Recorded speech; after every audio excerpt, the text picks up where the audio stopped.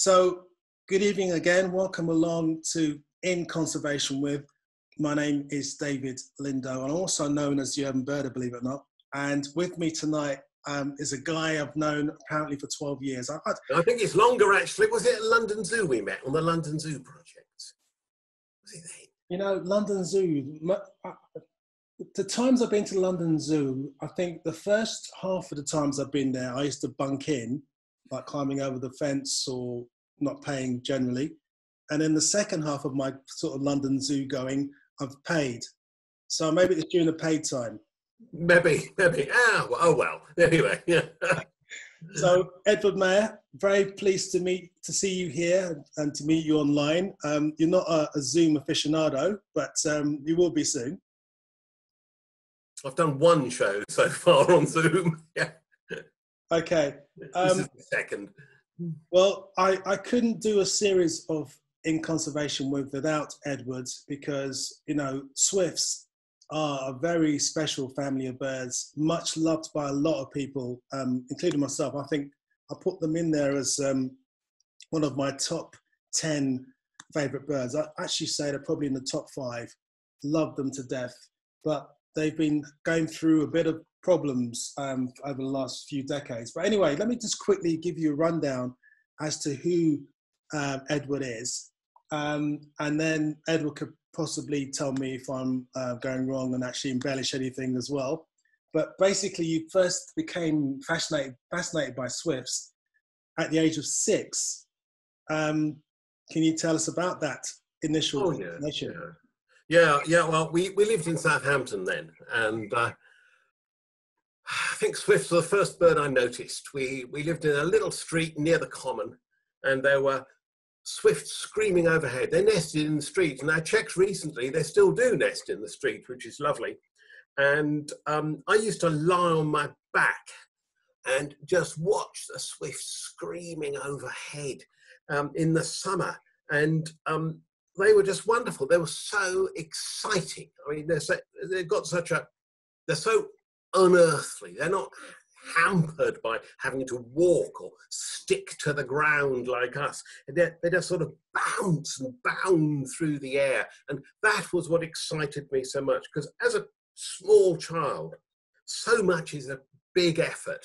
I mean, going up the stairs is a big effort, and and and uh, the world is very um, sort of designed against you. Getting on the bus big effort often had to be picked up and put on the bus and that sort of thing. But swifts just shot around everywhere and they were so intangible and so dramatic. I just fell in love with them. And that was it really. That was the start of bird watching for me. I moved on to quite quickly to things like great crested grebes and and, and jays and glossy, flashy birds that there were around Southampton, but the swifts were the start it's interesting because um, one of my, I mean, I started birding when I was five or six, and I, I knew about swifts. I saw them flying around. But when I was about 11 or 12, I decided alongside a friend of mine to do some scientific research instead of playing football in the prefabs.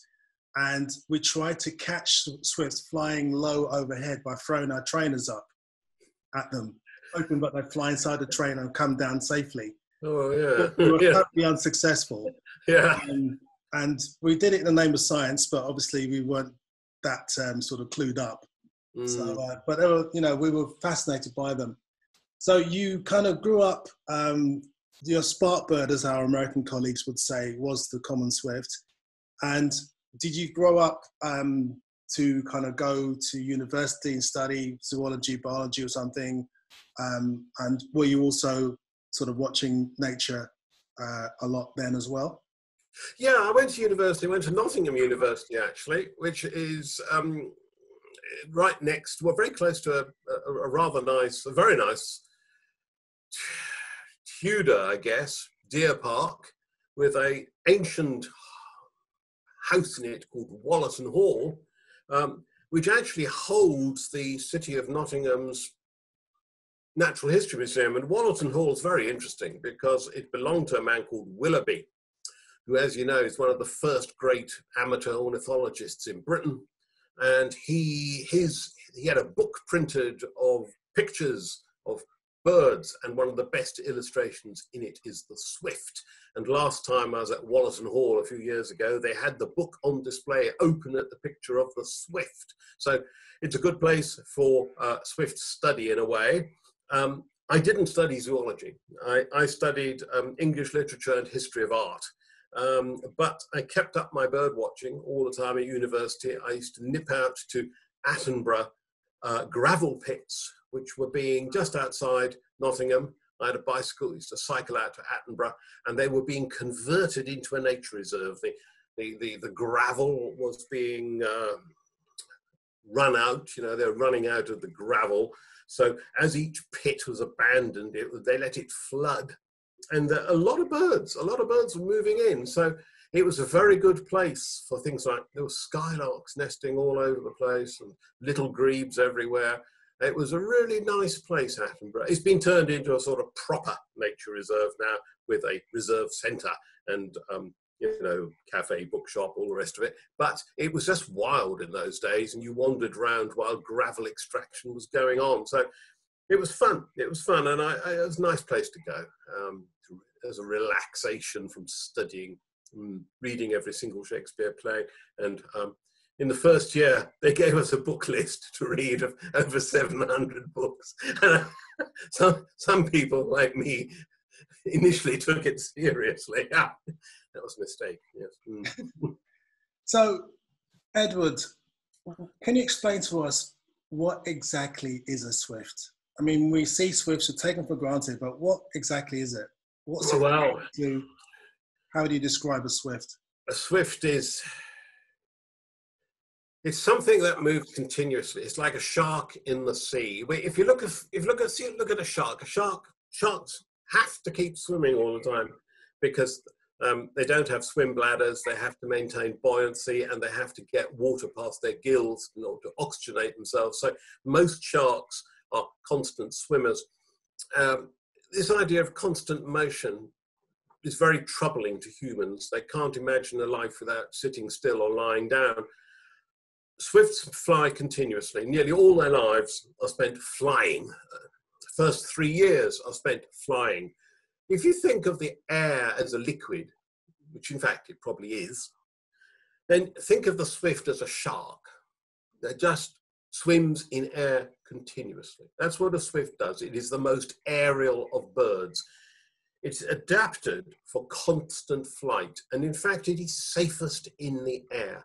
It's got such short feet set so far back it can't really walk. It can shuffle on the ground, but generally speaking, a swift on the ground is a swift in bad trouble. There's something wrong for it to have been on the ground in the first place.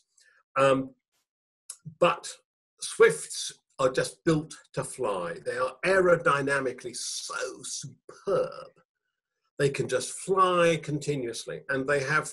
You see how swifts fly. I mean, all over the place. Sudden turns, sudden climbing, sudden diving, twisting, turning on, on, on, on, on not just on a sixpence, on, on a pin's head in the air.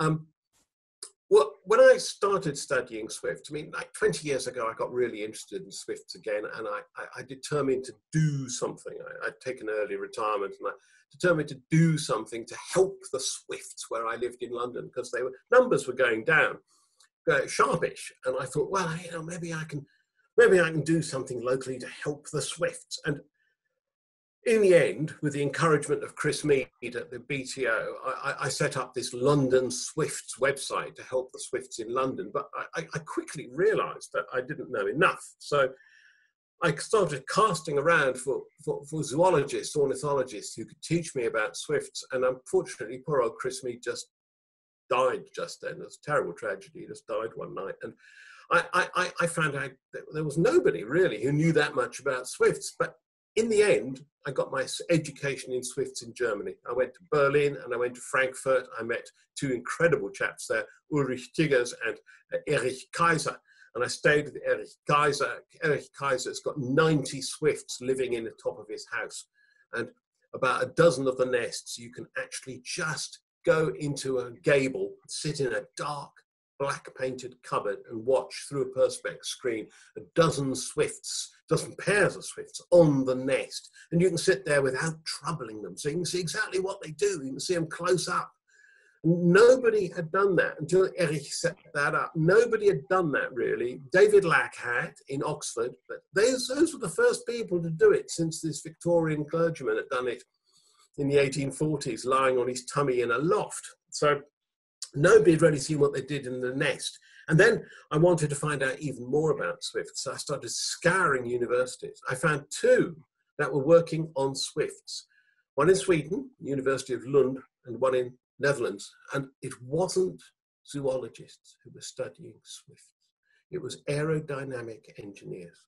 And the chap in Sweden, part of his time he designed military drones, and the other part of his time he put swifts into wind tunnels. Dead swifts, wooden swifts, live swifts into wind tunnels to see how they work. And what they found is that swifts incorporate three amazing technologies, which we have found quite separately something called high aspect wing ratio, which means it, it, means a very, very long, very thin wing, and it gives you incredible fuel economy. You stick that onto a Boeing jet, and we can fly from London to Thailand or right across the Atlantic without refueling. We can fly now more cheaply than ever before. I mean, all of us can afford worldwide flight now. Just 30 years ago, it was intolerably expensive for us to contemplate, you know, worldwide flight. But now you know, I know people that go off to Australia every couple of months to see their children and grandchildren. It's it's affordable. It's affordable because of the design of the aircraft and the economy of the engines. And it, it, a Swift can fly for three or four days, non-stop, with no water and no food.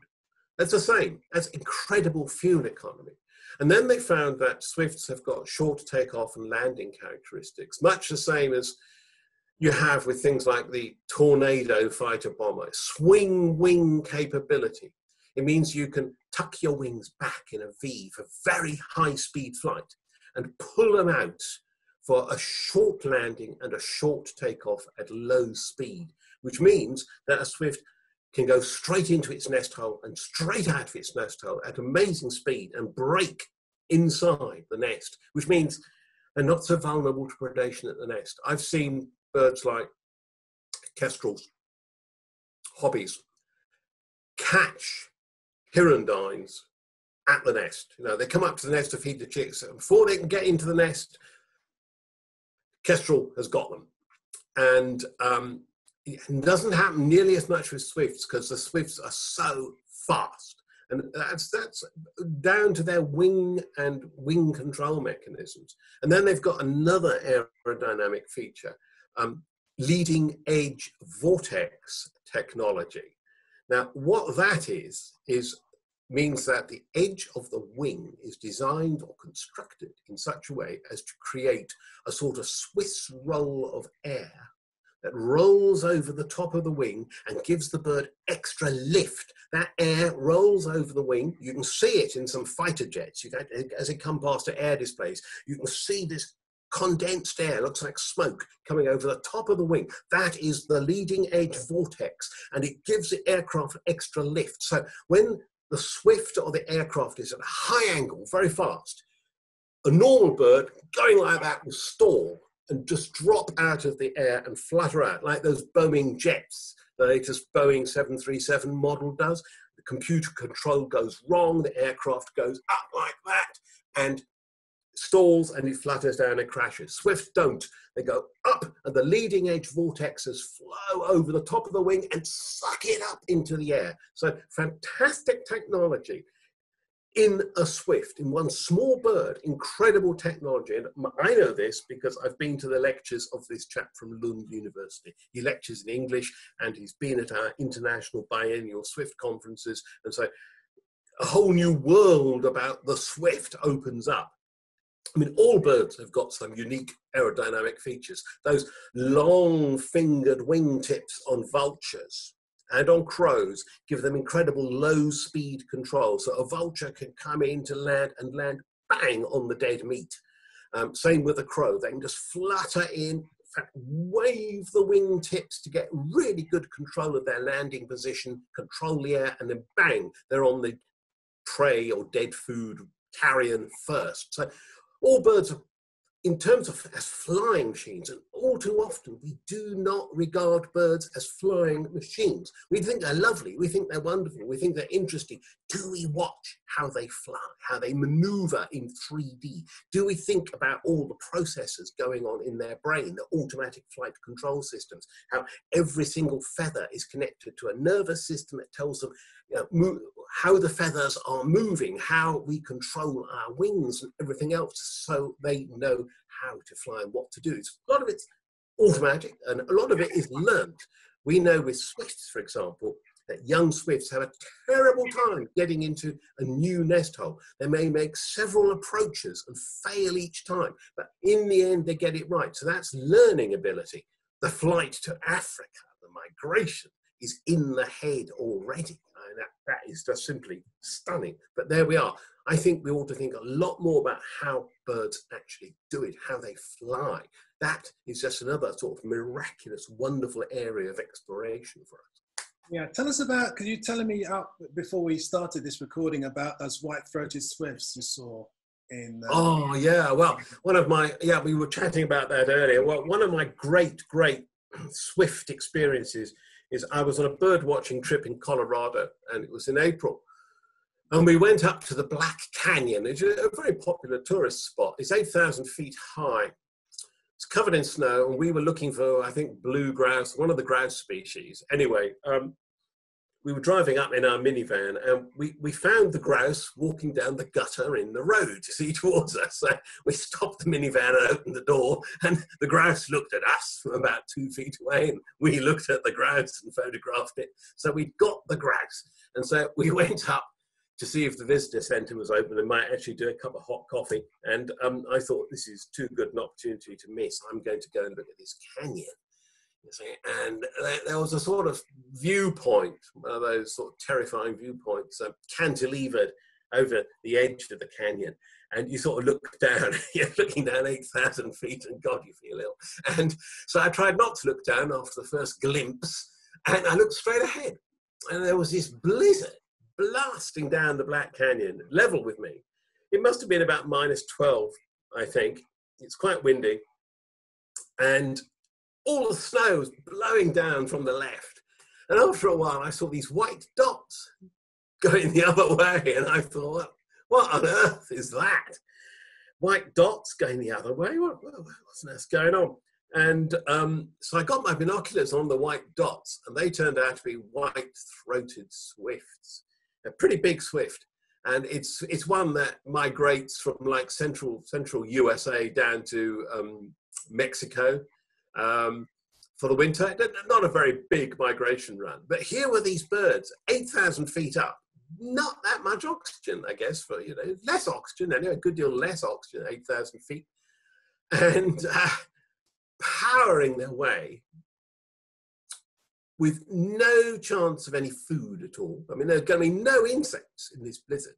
And water is going to be pretty tough. I mean, they'd have to dive 8,000 feet and try and find some unfrozen water at the bottom of the Black Canyon. I think the river was actually running because it wasn't cold enough to freeze the, the, the rapid river over. But all the same, diving 8,000 feet and then climbing 8,000 feet again for a drink might, might not be on in those conditions. I don't know. But there they were powering through at 8,000 feet. And I was just stunned. Um, I'd heard of swifts flying very, very high, flying over the Himalayas, for example. Uh, but I'd never seen anything like this. And it does give you an idea. Um, I've got a friend in Germany who tells me that one of the best ways of watching common swifts and migration is to lie on your back on the lawn, put your binoculars to your eyes, and you will see incredibly high these specks going south you won't see an awful lot of swifts migrating. You will not see; they'll be too high. But it all depends on the weather conditions. Um, but they are simply amazing creatures. Absolutely. I was on Radio Kent last Friday um, because the presenter was having an argument with his assistant as to what was the fastest bird in the world. His assistant was saying peregrine, and he was saying swift. and I was brought in to settle the argument. And I actually said, you know what? In reality, both of you were kind of right because the peregrine does 200 miles an hour, but it's in a stoop, it's diving. Whereas the white throated needletail, powering itself in level flight, can do, I think, 110 miles an hour or something. Yeah. Phenomenal. Yeah. Phenomenal. Yeah, you know, imagine the flight control, the vision needed, the abilities needed to control yourself. Um, um, you, you, you, can you can do it in a car, but um, your risk is, is, is, is higher than for the white-throated needle tail. I partly it's that Swifts fly in clear air, and until aircraft came along, there was no threats. Swifts turn up quite often inside aircraft and jet engines. Uh, I, had, I had a long chat with the um, Civil Aviation Authority some years ago, and they objected to one of my proposals, which was to. Uh, I was working with London Zoo then, and they were thinking of opening a new aquarium in Docklands and um, or else on the Greenwich Peninsula, one either one side or the other. And um, I was asked to install, to design in some Swift nest facilities there, and I proposed seven or eight Swift nests and it was vetoed by the Civil Aviation Authority as being too close to London City Airport. And I said, for God's sake, they're tiny little birds. You've got much more to worry about at London City Airport. You've got swans, you've got Canada geese, you've got gulls. And they said, no, no, no, they often turn up in jet engines. Um, well, clearly they don't bring the aircraft down, thank God. But um, I, I, often wonder at what height they end up in the aircraft engines. It'd be quite interesting to know they find the debris, the feathers, and they find rings sometimes in, in the engines, and that's that's how they identify them. Well, as well, you may not know Zoomers, but swifts are a worldwide worldwide family of birds, and I believe their closest relatives are hummingbirds. Um, but tonight, you're going to tell us about the plight of the common swift that's found yeah. in Europe yeah. and Europe. Yes, I've got a little presentation for you. To really, it's to encourage you to put up Swift nest boxes. Yeah. Um, and um, I'll answer questions at the end about any, any aspects you, you, you care to you care to think about. Now, technically, putting up Swift nest boxes. I mean, the nest boxes are cheap. They range from very cheap, like sort of sixteen pounds, to very expensive, well over a hundred. And basically, what you pay for, you get for. Um, you'll get a much better box or a longer lasting box or a bigger box for your more for more money. Um, the most difficult thing, nothing to do with the Swifts at all. The most difficult thing is putting them up on your building high enough. Um, and I'll, we've got suggestions about how you can do that without having to risk life and limb on your own ladder. Um, often TV aerial companies will put them up quite cheaply for you. So that's that's that's uh, an option. They're used to working at height, and um, they've got the kit. So that's an answer. Um, otherwise, there's like your grandchildren who may be capable of going up a ladder. You might, you know, sort of threaten them a bit and get them to go up a ladder.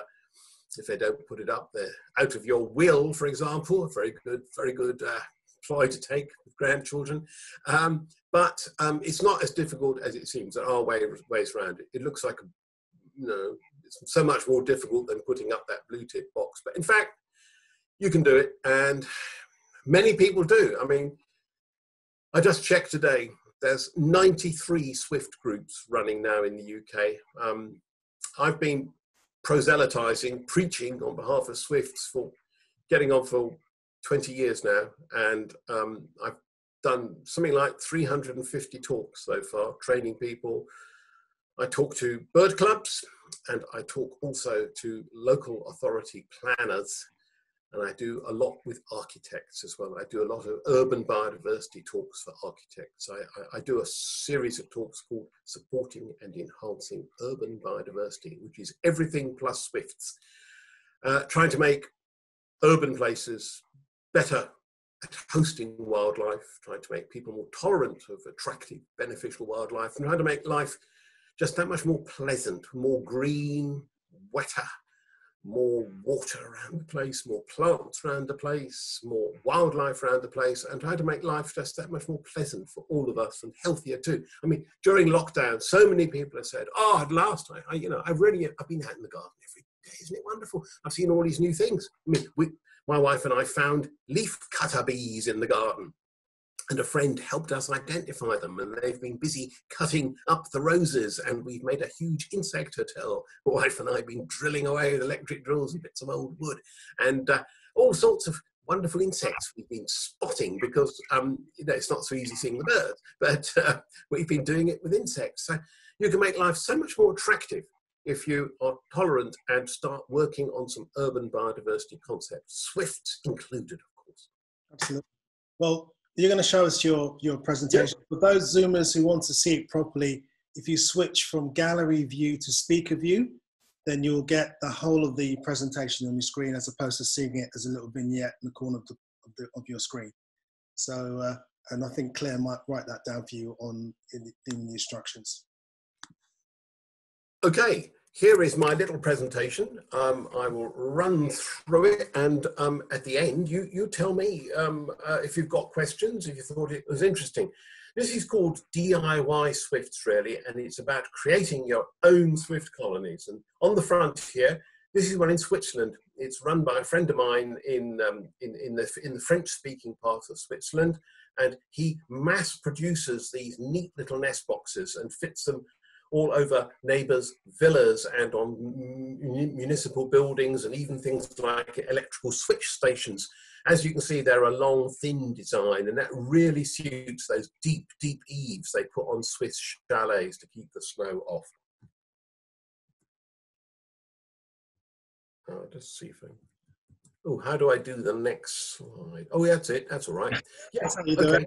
that's what I've got it. I've worked it out. Why Swifts? Well, as you probably guessed, I adore Swifts, but it's what Swifts can do for other people. They're beautiful, they're dramatic, they're exciting. Now, look on the right. That's a back street in Barcelona, and that's a time lapse photo of the Swifts just barreling through. Imagine flying like that. Oh, but the thing about this is the back streets of Barcelona are pretty grim most of the year. Look at that street, it's dark, it's dank. Yeah, on the left we've got people who've got flower boxes, but there's not much going on in that, in, the, in that, in that street. You can look out of your window and all you see is a wall most of the year. So what what happens? I mean, mm, a lot of the year, all you can hear is drunken tourists walking about uh, two in the morning, dropping bottles. It's not, not, not really that pleasant. But suddenly, one day in April, you open the curtains and wow, they're screaming outside, and the Swifts are back from Africa, and they're bombing through, and they're going to be like that for three months. They're going to bring life and drama and excitement into your dingy back street for three months of the year. Look at that flying. Look at it. It's just wonderful how they do it. And What's more, it's a bird we can help. We really can help this bird because they nest in buildings. And because they nest in buildings, once upon a time they nested in ancient woodpecker holes, in ancient forests, in ancient trees. And all that's gone now. We, nearly every forest in the world is managed. There's very few ancient forests left. And with a few exceptions in Poland, Lapland, one or two places in Scotland, swifts are in buildings. The bulk of the population are in ancient buildings. So we can help them because we're in buildings too. Next slide. And this is what they do. Here's Barcelona again. This is um, a very famous building by Guardi. It's called La Pedreria. And as a former, I mean, I used to work on buildings most of my career, oddly enough, um, buildings management. Uh, this I've been to. I've been all over this building, and it has some of the finest, finest plasterwork and mosaic work I've ever seen. Now, this is really interesting because we know that Guardi, Gaudi, sorry, Gaudi, was in, was very interested and inspired by nature, and I do wonder, seeing the swifts scorching all over the sky, are all those curvy lines inspired by the Swifts. We know he was run over by a tram and killed just a bit further up the road, and we know he was killed during the Swift nesting season. Was he looking at the Swifts instead of at the road when he walked across? Because getting run over by a tram is quite a difficult thing to do. They're quite noisy. But there we are. We do wonder. So swifts are just inspirational and they do fill the skies with action and sound. So it's not just the bird flying past, it's the incredible action and the incredible sounds that really make everything different for us. Whoops, sorry. Um, an incredible life too. The long distance migrant. Here is a map of a swift fitted with a data logger. It's fitted in Cambridge, the data logger on the 23rd of July. By three days later, it was over Madrid. That's pretty nippy, isn't it?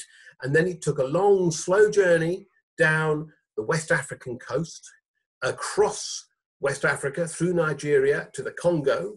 It spent most of the winter in Congo, and then it, on the 9th of December, it went for a little Christmas break to Malawi and Mozambique. And it stayed there till the 21st, 24th of January. Then it went back to the Congo until the end, beginning of uh, April. Then it flew to the coast at Cabinda. And then it did a three or four day journey over the sea to Liberia. We didn't know Swifts did this. Three or four days over the sea means no food, no water. There won't be many or any insects over the sea. They certainly can't drink seawater. So we have a three or four day flight. Remember what I said about fuel economy. Then it feeds up for um, uh, 11 days in Liberia. And then another amazing flight, three four day flight again over the Sahara to the Atlas Mountains. Now, again, precious little water, precious little insect food. I mean, I've been in the Sahara there weren't any insects, hardly any birds, quite stunning sort of place. And once it gets across the Sahara, Atlas Mountains, okay, feeds up there for a couple of days, then across to Morocco, plenty of food there because it's a big fruit and veg growing area. And then Morocco leaves on the 6th of May, and on the 8th of May, two days later, it's in Cambridge. Two days to fly from Morocco to Cambridge. Now, stunning performance. So, an amazing migrant. Some swifts are the longest land bird migrants in the world, the ones that come from Beijing down to South Africa. They have the longest flight of any land bird. Spends years on the wing. I mean, two or three years before it matures to breed, it'll be on the wing all the time. It's a slow breeder, one or two chicks a year if the weather is kind, maybe none if the weather's really bad.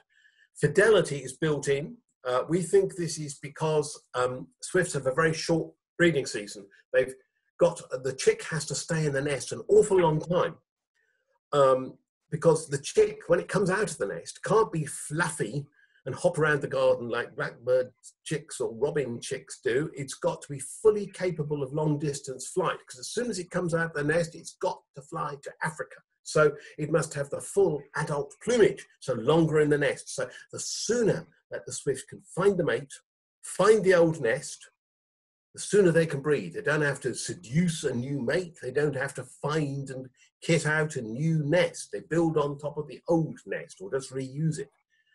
They're long lived slow breeders, but seven or eight years is good average, and they'll even get up to 19 or 20 years old. We have a few records of very old swifts. Once past the first year, they're usually good for seven or eight years or longer.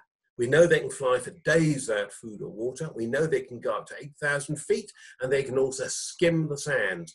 Um, a Swiss expedition in, in, in, I think it was Mali, a few years ago using a special ground based radar system, found swifts coming straight through sandstorms 20 feet off the deck. Um, incredible. Swifts migrating on the deck of the Sahara, just a few feet above the ground, in those dreadful red dust sandstorms. Incredible. There they do it though. Still very mysterious. There's an awful lot we don't know about them. I mean, ringing swifts, we had, it's been 100 years of ringing swifts and it's produced virtually no information about migration whatsoever. Worthless. It's okay for saying, okay, the swifts have come back this year. This baby swift has come back, or this swift I ringed last year has come back to the same nest, but it was useless for finding out where they went in Africa until we got these data loggers. And when we got these data loggers, developed from things put on albatrosses in the South Atlantic, by the British Antarctic Survey and miniaturized down to things we could put on Swifts. When we got those, we started finding out this stuff in this map. And of course, wholly insectivorous. Apart from airborne spiders, all they're eating up there is airborne insects. Now, Swifts are in big trouble, I'm afraid. Um, here's a couple of horrible photos, but decline. From 1995, these are the latest figures. We have got um, oh, should be 2017, sorry.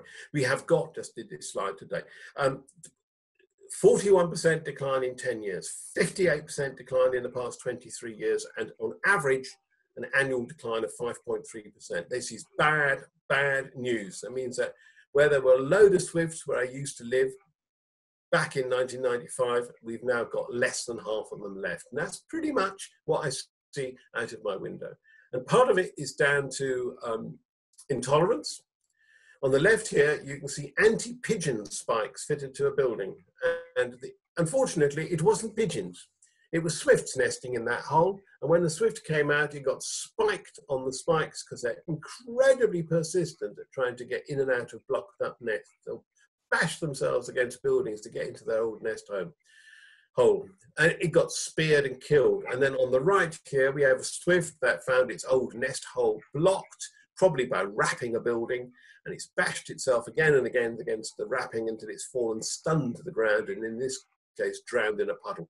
So normally they get eaten up by dogs and cats or foxes, but it's pretty bad. It is pretty bad.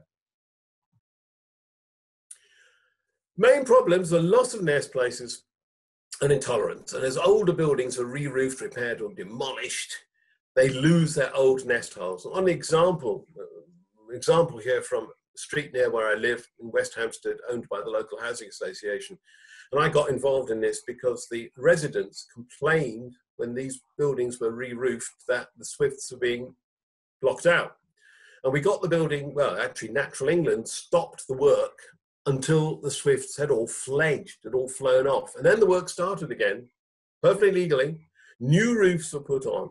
And instead of having holes along the eaves for the swifts for the ventilation of the old roofs and where the swifts had nested in these eaves gaps. They sealed those up and put on these new sort of, they look like buns, you know, grey bun ventilators, which have got a little mesh inside them. Um, which um, which uh, uh, stops insects and birds and bats getting into the roof space. So the entire street lost its because it was all owned by the housing association entire street lost its swift colonies. And it's it's this way at street after street after street. Yeah the buildings have to be re-roofed. Yeah they've got they're lovely buildings. They're beautiful buildings. They're quite early victorian. They're handsome. They're nicely built. They're good for maybe another 100 years if they're cared for. Roofs have got to be replaced. Sure but why do it in this this way which drives out expels or kills off the birds and the bats that are living in this sort of building. Why have we got to be so intolerant? Why can't we design around it? It's easy to design around it. We've just got to think it through and think that we really want to keep these creatures. We don't want to live in a concrete, brick, urban tarmacadam desert that is peopled only by feral pigeons and rats and humans and nothing else, because that all too easily is the way we go. We just we're on a sort of auto development autopilot that excludes everything except human and pests. The pests arrive with the humans. So it's really difficult. We've also got other problems facing all insect-eating birds, which is insecticides. Um, we, we know from um, surveys done by Professor David Goulson that farmers in Sussex, for example, are spraying fields up to 22 times. A single crop is sprayed up to 22 times with insecticides, molluscicides, herbicides, fungicides, and fertilizer. And that little lot will kill off absolutely everything. It'll kill off all life forms except the crop. Um, quite extraordinary what we are now doing. Now, Professor Goulson considered that farmers were being gratuitously oversold these treatments. They contract out insecticide treatments, being gratuitously oversold them by an industry that's keen to just pour the chemicals on the land in as big a quantity as possible. You know, drink more milk, eat more meat, spray more insecticides.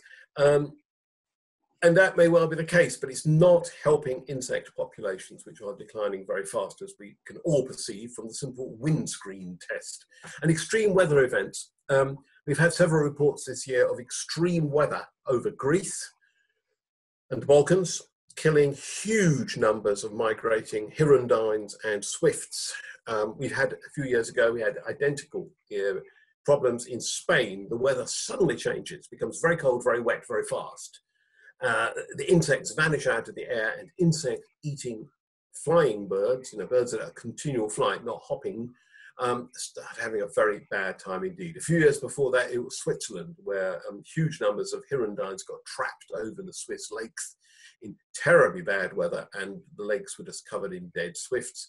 Um, these events seem to be becoming more common. Extreme weather events seem to be more usual and as well as doing a huge amount of damage to um, uh, buildings and some damage to humans, they are also very damaging to wildlife. And these are things that swifts, and in fact, all wildlife are up against.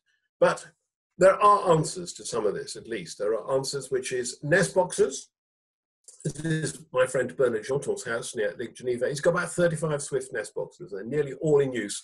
And they are a special shape to um, fit onto a Swiss design building. Now, you might like to look at this little magnetic door here, and you might think, what is that for? Well, that is a door which keeps sparrows out. Sparrows get nesting very early, and they will pile into swift boxes certainly where sparrows are present, they will pile into swift boxes because they love them. They love swift nest boxes. They're ideal sparrows. They don't like sparrow terraces as much, but they really love swift nest boxes. And they'll pile into them and use them and keep the swifts out. So Bernard invented this magnetic catch door, which swifts can open and sparrows can't.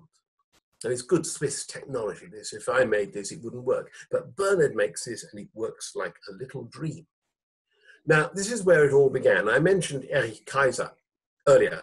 And this is his house near Frankfurt. Um, just after the Second World War, Erich went off to Oxford to study how to make honey at Gales Honey. He wanted to set up an apiculturist business in Germany, and he came to Gales and he found David Lack at the Oxford Museum with his huge swift colony. And when he got back to Germany, he turned his mother in law's house into a swift colony, a whole floor dedicated to swifts. And there they are.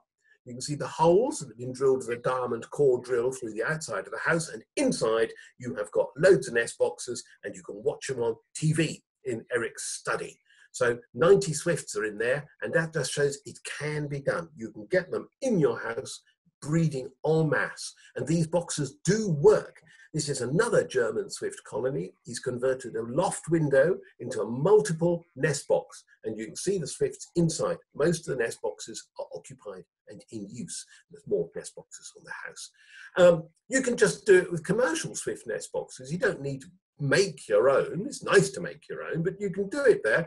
These are some Swift Nest boxes that Jan Stannard, who runs a major Swift group and advice service, she she slapped them up on her house when the local hotel was demolished. Full of it was demolished because it, it had loads of Swifts in, and she set up these boxes and played calls and attracted the Swifts over to live in her boxes. And that's me some years ago putting up a box on my house this is Mark Glanville's very, very sophisticated DIY boxes. You remember Mark, Mark um, uh, showed his Swift Nest boxes on BBC's Springwatch program. Um, he, they supplied cameras to look inside the boxes. Well, these are the boxes and the design for them is on our website. So if you want to make boxes just like Mark, very nice boxes, not difficult to make, but very sophisticated design, then you can download the design off our website and make boxes just like the ones on Springwatch.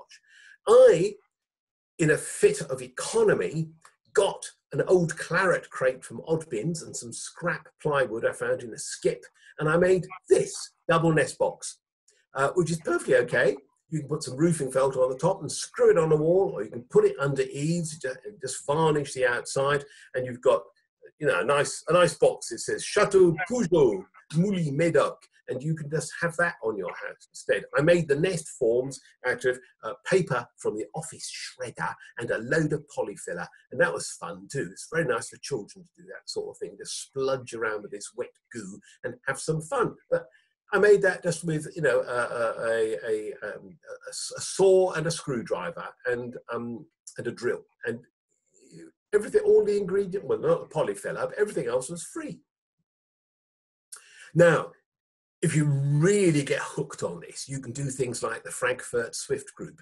There's a fantastic Swift group in Frankfurt, and um, they kit out buildings with Swift Nest boxes. They've created over 2,000 nest places in Frankfurt, and they work on this basis. When they see a big new building going up or a building being re-gutted or re-roofed, they get in touch with the developers and the owners and say, is it okay if we put up some Swift Nest boxes as well? And they use the same scaffolding, they wear the safety equipment, they've got all the gear, they get up there and they put huge runs of nest boxes under roof edges. Under this is this building was being re-gutted, old building, new gutters. Underneath is just two planks of wood and internal partitions, right-sized nest holes, 65 mil by 28 mil. Run them along. Within two years, these were used by Swifts. There's the Swift. You see, it's just one private now one group of private citizens and they've integrated themselves into the development philosophy of Frankfurt that everybody knows them now. They will put up the Swift Nest boxes as you are re-roofing your building or building your new building. It's a fantastic idea. Now, out in the Fens, Dick Newell invented, amongst many other innovatory designs, he invented this gable box which the only thing you've got to find out is the angle of your gable. Once you've got the angle, you can make this, and you can make it out of scrap wood found in skips, scrap wood off building sites, all sorts of bits and bobs. You can just put them together, and then you can paint it to match the building, or paint it to match the bricks. It looks good. It'll be there forever. Same life as the gable, and it houses loads of swifts. Dick tried one out on his daughter's house, and it's utterly successful. You can, in fact, do a lot just by adapting eaves, gables, clapboarding. Um, chap called Roland Giddy did this when his house was being decorated. It's just two bits of wood, goes across the beam ends, and it creates four swift nests. He just cut the wood to size, screwed it up, and the decorators finished it off when decorating his building. This is a bit more sophisticated, it involves bringing forward the clapboard with battens, and the right size holes. But again, I mean, this is easy peasy. If you've got the scaffolding up to do the work, that is a minor addition for anybody to do for you. Just, you just got to explain it to them, give them the dimensions, and bingo, they can just put battens under the clapboard and you've got some swift nests in there. If you're building a Swift, uh, a home extension, you can make it a Swift extension too. And there's a lot of things called Swift bricks now on the market. When I started, there was just one on the market. It was made in Germany. Now we've got like half a dozen companies in Britain making them. I've been trying to get British companies to make these, export these, get them around the world. And, and, and get a bit of business for Britain. And we've got this wonderful one, again, a Dick Newell design called the S brick, which is lightweight. It can be made to match any brick size or any brick color. It's done on a laser cutting machine by a laser cutting company. There's one in, uh, uh, that's the trial model in, in, in cement and it worked. The Swifts used it. These ones are in better materials and you can just pop them in instead of bricks. So here's your new extension going up. If it's brick clad, get some Swift bricks into it. I'd say at least three or four. They only cost about 30 quid each. So really, it's nothing. It is nothing. And you will have them there for the life of the building. Churches make great nest box sites as well. And again, it's DIY local Swift groups that are doing this. This is my mother's church, my late mother's church, St Mary the Virgin in St Neots. And across the road was an old factory with a load of Swifts nesting in an asbestos roof. And that had to go. So I got Action for Swifts involved, and they came along and surveyed the site and talked to the vicar. They did the whole thing. The vicar loved the idea. Church wardens loved the idea. This is a fantastic church. You should visit it if you're near St. Neots. It's got one of those angel roofs inside. It's a huge church, and it's got these wooden, medieval wooden angels hanging down over you. It's just brilliant, and they have nice concerts there.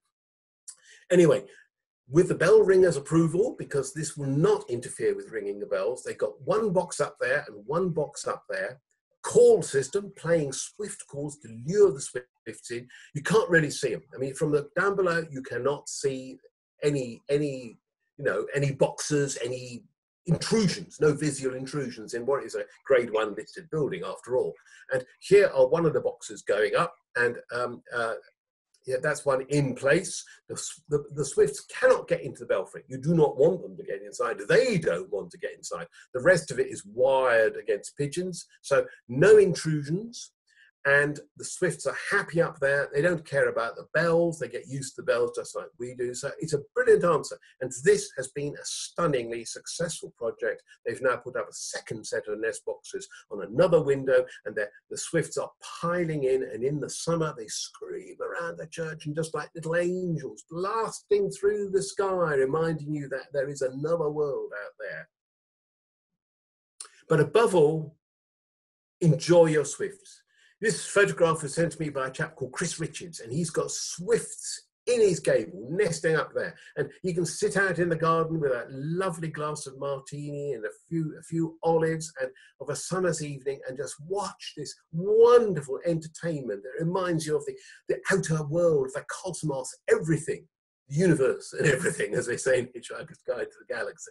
It just, it's just, it's, it just, it just tells you there's another world apart from the world of pollution and cars and exhaust and washing machines roaring away and um, and, and, and, all, all of the, all the horror of everyday life and banality of everyday life. It just brings you into the presence of life out there. And he says, ah, look at this. Isn't it wonderful? Swifts over your home. What a delight on a summer evening.